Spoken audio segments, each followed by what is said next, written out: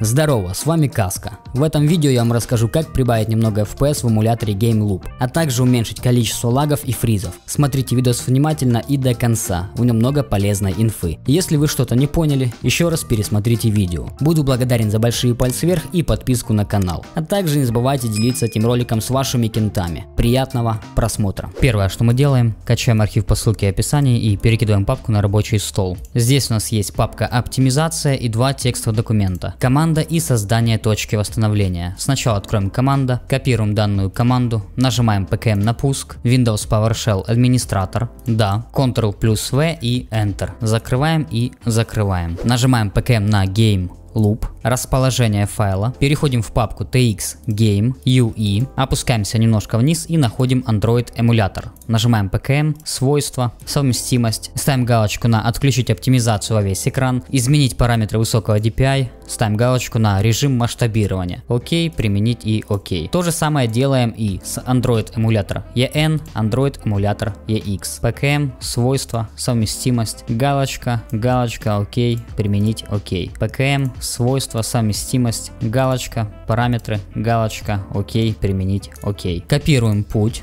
Нажимаем PKM, копировать, закрываем папку, нажимаем поиск, пишем настройки, графики. Если у вас есть планирование графического процессора с аппаратным ускорением, тогда нажимаете включить. После всех настроек сделайте перезагрузку вашего ПК. Нажимаем обзор, вставляем наш скопированный путь, Enter и добавляем приложение Android эмулятор EN, параметры, ставим галочку на высокая производительность и сохранить. Плюс на всякий случай можете еще добавить EX. То же самое. Параметры, галочка, сохранить. Можете не переживать, высокая производительность будет активна только тогда, когда вы находитесь в самом приложении. Так же само и Android эмулятор. Тоже добавить, параметры, галочка, сохранить. Нажимаем поиск, пишем параметры режима игры. Игровой режим мы оставляем включенным. В клипах все это отключаем и ставим галочку на 30 кадров. В Xbox Game Bar мы тоже убираем все эти галочки. Открываем мой компьютер, локальный диск C, пользователи, ваше имя пользователя. Нас интересует папка AppData. Если у вас нет данной папки, нажимаете вид и ставим галочку на скрытые элементы. Local, а опускаемся в самый низ и находим temp.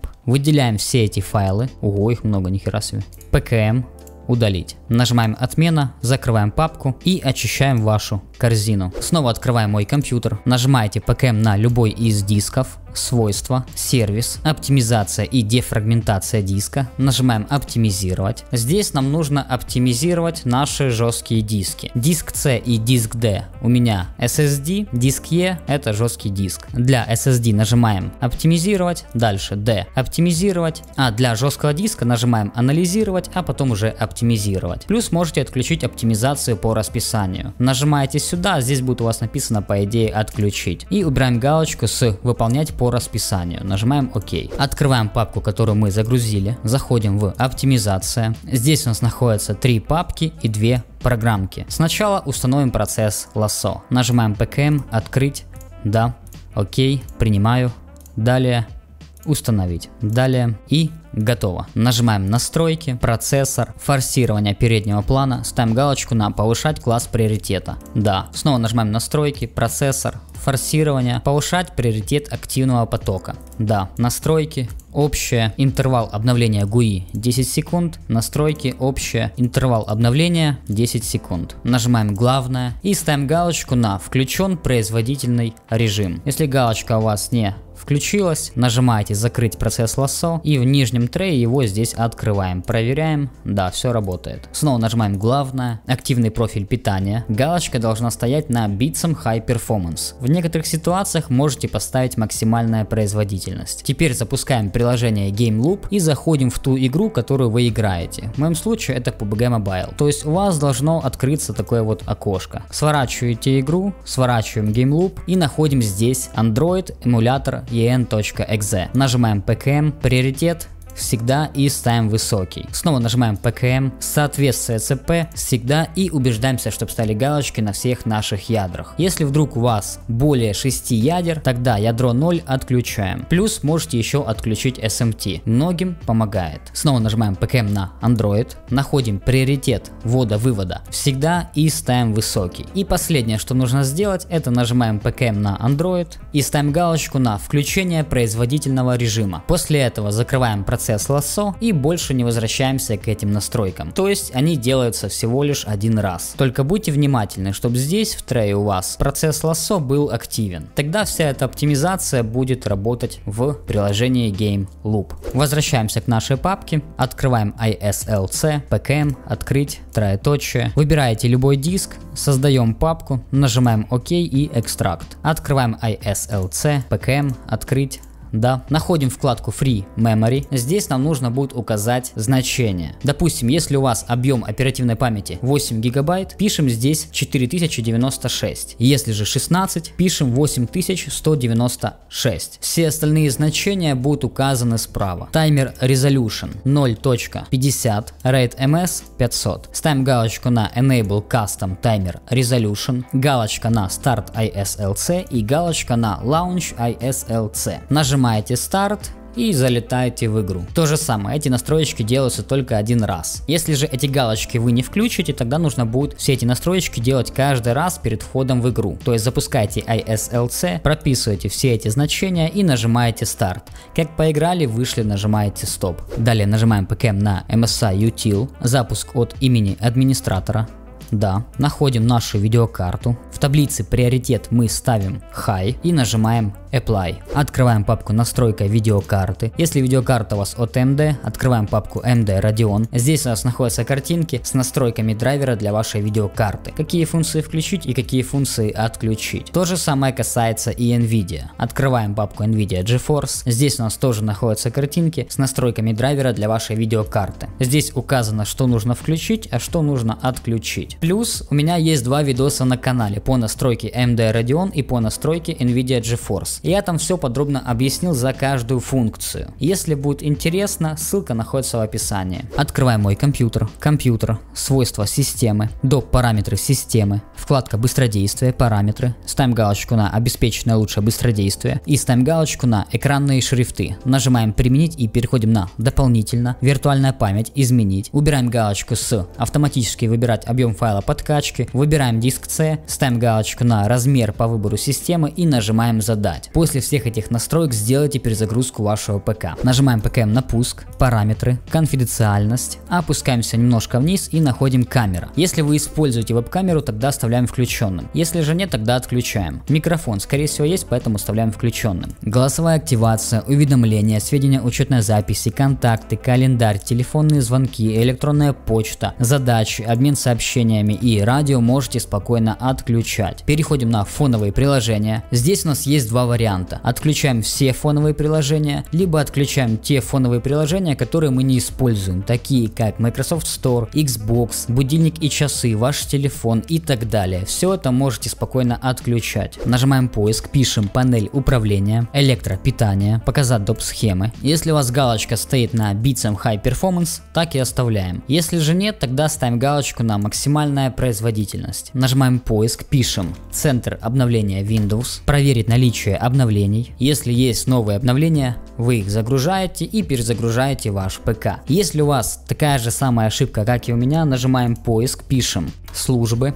опускаемся в самый низ и находим центр обновления Windows. Тип запуска. Вручную, применить, запустить. Теперь нажимаем повторить, у вас пройдет проверка всех этих обновлений. Если есть доступные, загружаете и перезагружаете ваш ПК. После этого, как все сделаете, снова заходите в службы, центр обновления Windows, тип запуска отключена, применить, остановить. Окей и закрываем. После всех этих настроек залетаете в GameLoop и проверяете, как у вас идут игры. Если FPS не изменился, как были лаги, так и остались, тогда открываем папку, которую мы загрузили, оптимизация, твики, реестра. Здесь у нас есть 5 файлов реестра. Первые два файла реестра отключают Xbox DVR. Многим, кстати, бустит неплохо FPS. Нажимаем PKM слияние, Game DVR 2, PKM и слияние. Если вдруг у вас нет слияния, нажимаете два раза LKM, либо через Enter. Да-да и ОК. Отзывчивая система PKM слияния, сетевой тротлинг ПКМ слияние и системный приоритет тоже ПКМ и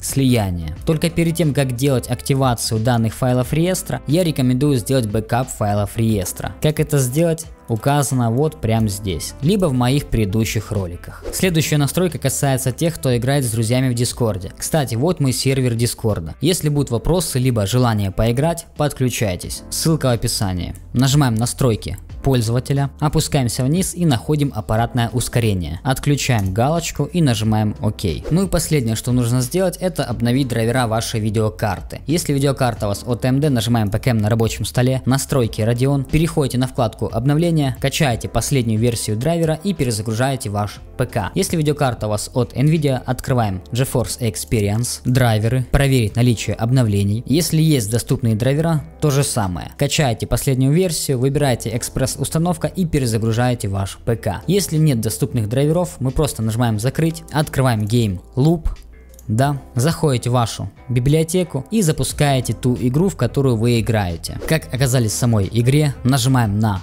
меню, настройки, на вкладке основные. В принципе можете ничего не менять, я же отключил автозапуск, поставил регион и язык. Движок оставляйте автоматически, потому что если вы играете не в одну игру, то некоторые игры, допустим, поддерживают OpenGL, некоторые DirectX, поэтому лучше ставим автоматом. Ставим галочку на включить кэш рендера, ставим галочку на принудительное кеширование рендеринга, ставим галочку на приоритет дискретной видеокарты и ставим галочку на включить оптимизацию рендеринга. Вертикалку тут по ситуации. Если, допустим, у вас процессор загружен на все 100%, можете поставить галочку. Некоторым помогает его немножко разгрузить. Сглаживание советую ставить на баланс, если ПК у вас средний и выше. Если слабенький, тогда лучше выключаем. Память. Максимальное его количество. У меня 16 гиг оперативки, я ставлю 8192. Процессор. У меня 6 физических ядер, я ставлю 4. Разрешение. Если ПК у вас средний и выше, то ставим по соотношению к вашему монитору. Если же слабенький, то 1280 на 720. DPI экрана оставляем по дефолту на 240. Далее нажимаете сохранить и переходим на модель. Здесь в принципе особой разницы нет, но я выбрал ROG 2 с поддержкой 90 кадров. Переходим на вкладку игра. Делаем то же самое, что и с разрешением. То есть для слабых ПК стандартная 720p, для средних и выше 1080p. У меня же 2К монитор, поэтому я выбрал 2К. Графика. Для слабых ПК ставите на плавно, для средних и выше баланс. Кадровая частота советую ставить 60 и даже ничего больше не выдумывать. Потому что, допустим, для PUBG то же самое 60 или 90, разницы особой нет. По крайней мере на ПК. Это то, что касается моего личного мнения и восприятия этой игры. И нажимаем сохранить. После всех этих настроек открываете во весь экран, нажимаете начать и наслаждаетесь высоким FPS.